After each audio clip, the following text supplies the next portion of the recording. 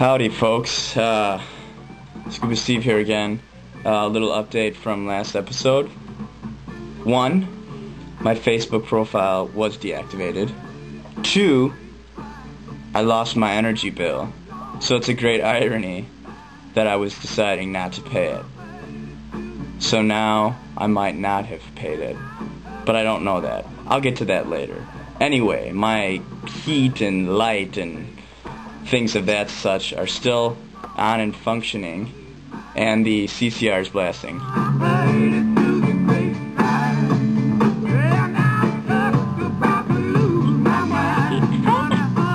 Uh, but anyway, that's obviously not why we're here.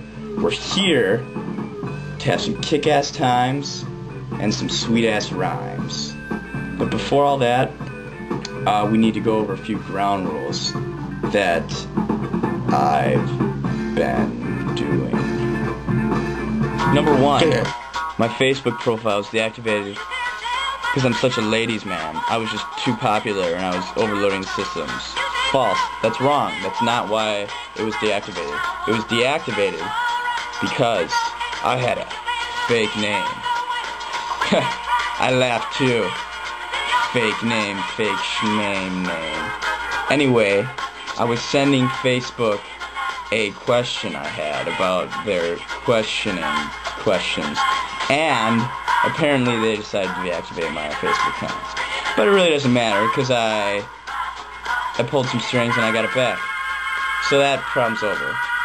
But my energy bill, that's the whole nother game. Um, I don't know where it is. I don't know.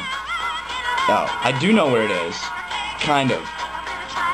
One of my TAs said they found it in one of my classrooms. Because, see, rewind. Ah, one of the things that happened to my energy bill, supposedly, is I went to well, I went to class with the intention of dropping it off at the mailbox. And to say I ran into a few people on my way to class, it slipped my mind. So I didn't do that, and somehow along my route during my day, it fell out of my bag, or it must have, presumably. So then, a few days later, I get a Facebook message from one of my TAs. Yes, a Facebook message from one of my TAs. I'm friends with them on Facebook.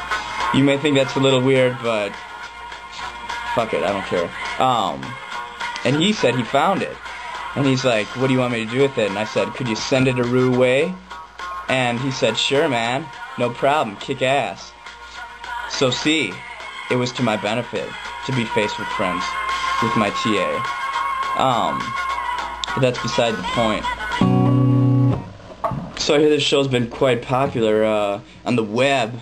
All the kids have been eating it up like hotcakes like gangbusters it's working like um so i guess i feel obliged to give you a third episode um but you know what? Uh i'm not really coming up with anything. Not that i really ever do come up with anything. It's just kind of me sitting around here um not working on my ComArch 374 um, and that's probably the reason you can thank for these programs. These fine programs are sponsored in part by the UW University itself. Um, and it's it's course material, and that I just don't want to do it. So I sit around here, and I'm like, well, instead of acting all weird like I usually am, why don't I put it on TV and or the web and have people look at it and get a little ha ha off it. Um, which brings us to the song of the day, which um, I'm not really sure what the song of the day is yet, but when uh, I find out, I think I might let you know because that's probably important. Uh, you've heard a few songs today already, um, but there'll be more. Um,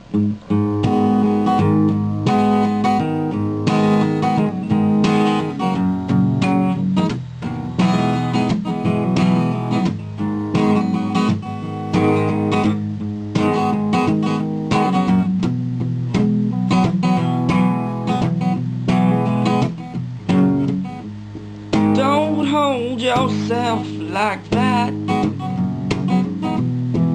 you hurt your knees. I kissed your mouth and back. That's all you need. And your world around volcanoes melt you down, and what I am to you not real. And what I am to you, you do not need.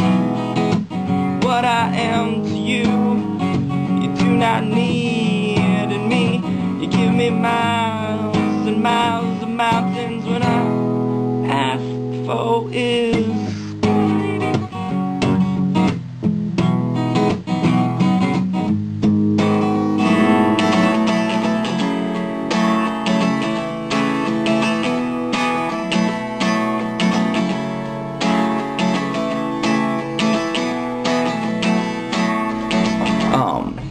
another point I'd like to bring up with you, fine viewers of this program, is uh, I'm thinking about taking the show on the road. That is uh, going around here in Madison where I live, you know, taking some video clips of things I kind of do when I'm not sitting here procrastinating. Um, and I'm thinking that might add a versatility to this program that's been unprecedented. And um, I definitely know some of you would love to be a, a part of this great program. Um, so if you if you would like to be a part of this program, or if you see a certain aspect of Madison that you would like me to maybe do a spot at, um, shoot me an email, check out my website, drop me a line, do something, you know, throw a rock at my window with a note attached to it, maybe n- not a big rock, but maybe a small rock, um, and you know we can work something out. Um, but I think that probably wraps it up. I've taken enough of your time. I've wasted enough of my own time for this week, or whenever this next program is. Um, but uh, I look forward to hearing from you. And with that, we're going to go out with a little music I like to call Crazy Frog Remix.